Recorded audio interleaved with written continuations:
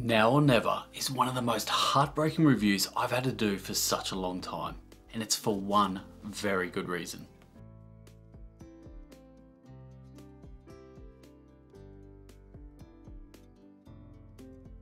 Ryan Laukat, designer, artist, creative genius, is pretty much my favourite designer currently. The worlds he creates, the passion he puts into his board games is just second to none. I played Sleeping Gods a while back, it's a campaign game, and this game absolutely flipped the switch on what I expect out of board games. This game created memories for me and that is now the benchmark for all games going forward. Next up, Above and Below. This game is true elegance and it is fun from start to finish. I was smiling non-stop. Again, the worlds he created, the passion he put into that game, I absolutely adore. Fast forward and we now have the latest game from Ryan Laukat, Now or Never. Now, why am I feeling just that little bit flat about this game? Put simply, expectations. Expectations because of the great games that came before it. Now, can Now or Never live up to these lofty benchmarks? Well, we're going to look at the game a little bit more in detail and I'm going to give you my full thoughts on this game. Now or Never is a wonderful player competitive game that I think is more suited to the experienced gamer. In this game, you play either the story mode or the standard mode. Story mode this is a choose your own adventure dressed up in a gorgeous looking board game. You're going to pick one of the four asymmetric characters and you can go more deeper into their backstory and understand why they're in this world. In the standard game, you won't get that background, you won't get that context, but you're still going to play as one of those four characters and you're going to be playing over six rounds in this fantasy filled world. So what is the premise of this game? Well, your beautiful home. It's been darkened by a crystal meteorite which came down exploded out all these monstrosities, which then spread out like fungus engulfing your pristine land. Well, it's now 20 years later and the monsters are grown weaker. You are refugees, it's time to fight back and build up your ancestral village back to where it was before. In this game, you will go out and you will explore. You will fight monsters. You will interact with others and hire specialists and most importantly, you're going to rebuild that village, rebuild that home of yours.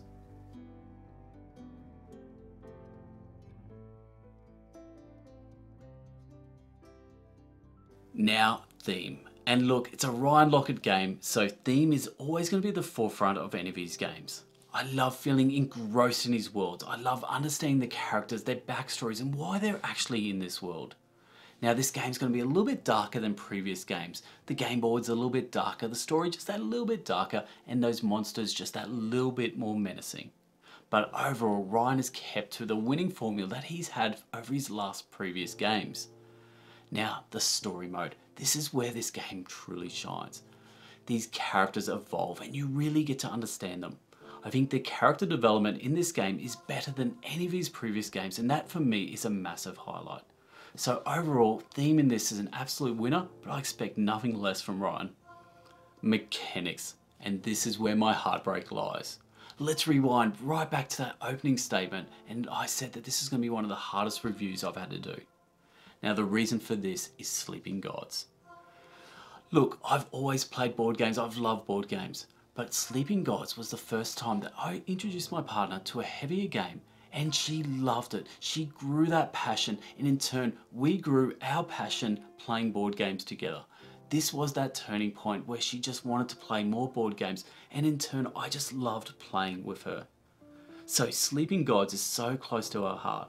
And then on top of that, Above and Below, again, one of her favourite games. So anything Ryan Laukat hits up, we were so excited to play.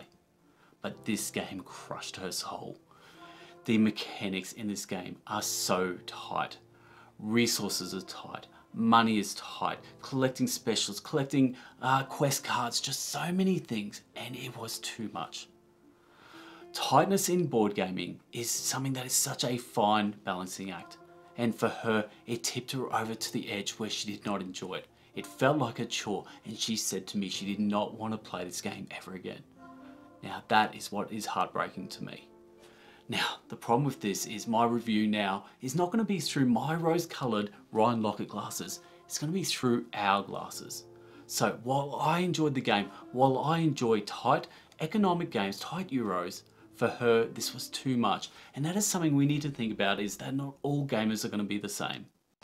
Now we know the mechanics are tight, but what actually are the core mechanics of this game? Well, on your turn, you can do one of two things, hero action or a specialist action. On the hero action, move a certain number of spaces around the game board. From there, you're gonna land either on a worker placement spot and you can take a worker placement action, or you might land on a search token, you might wanna search and explore the lands. Or lastly, you might land on a monster and you might wanna fight a monster.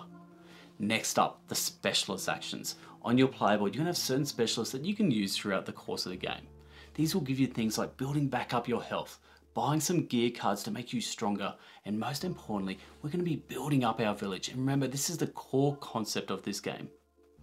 From mechanics, art and components, and look, the art truly draws me into this world. The centerpiece is going to be the three panel game board that's going to sit in the center of the table. This is where you're going to go around and start exploring these lands. Off to the side of that, you're going to have the seasons board. This is where you're going to be rescuing villagers and buying new gears to make you stronger.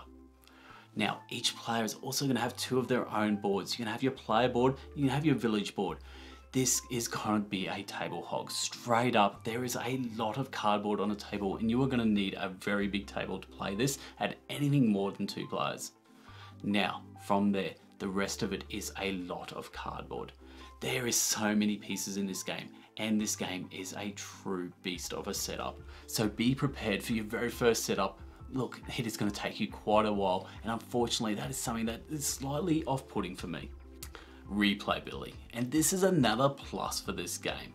Now the selling point is going to be in this story mode. It's going to do away with the search tokens and instead we're going to be mapping out a story instead each character is going to have their own story over six different chapters. Now we're going to have a little bit of story overlap for each character, but eventually they're going to branch off into different narratives, and this is where the true value in this game lies. The other part of replayability is the game board. Flip it over and we have a different game board.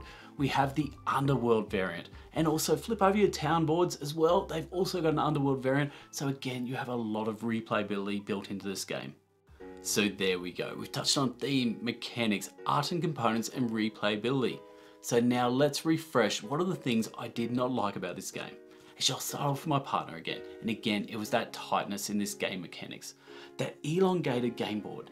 Now the things you're going to need at the start, you're going to need money, you're going to need resources, you're going to need quest cards. Unfortunately, these worker placement spots are so spread out around the board, and it's actually hard work getting across the board to all these different places. And even when you do get there, you're only getting one or two of these items. And it's such a slow drag at the start of this game to get anything rolling.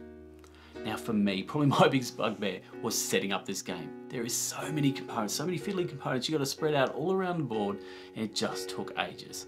But probably one that was just a little bit sort of off kilter here was the re-roll variant on the very last page of the rulebook and I didn't see it for my first couple of games but I found this re-roll variant which is going to add into your luck mitigation.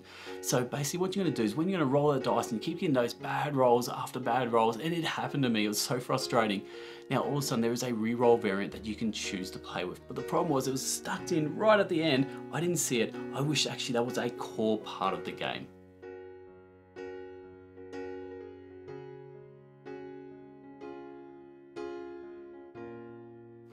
Let's end off with who is this game for? I think this game is more for the sleeping gods person as opposed to the above and below person. And what I mean by that is the above and below person is the person who just loves Euro games, loves fun, just, you know, loves that pretty artwork, but really wants more fun in their games. I think there's actually better games out there. But that sleeping gods person, the person who wants to be immersed in the world more, the person who wants that story mode, the person who wants to build up their character, the person who wants to know why they're doing the things they're doing they're going to really truly appreciate this game. Now, just remember, I really think this game is more for the experienced gamer. It is a tight game. It is something that, you know, for the newer gamers, it could be quite off-putting. Now, how would I rank these games? Unfortunately, Now or Never would come in third in my rankings. I would go Sleeping Gods, Above and Below, and then Now or Never. But in saying that, I still enjoyed it. Now, I have not played Near and Far, so who knows where that would fit into that ranking system. But that is my thoughts on Now or Never. Now, I would really appreciate your consideration in subscribing to my channel. If you enjoyed this review and enjoyed the work I put into this review, I'd really appreciate, you know, at the end of the day, I want to earn your subscription, so hopefully I earned it from this video. Anyway, leave a comment below what is your favorite Ryan Laukat game. Look, again, for me, it's Sleeping Gods, but I'd love to hear from you. Anyway, that's it from me. I'm Hoax. This is Board Game Bangers. Till next time, laters.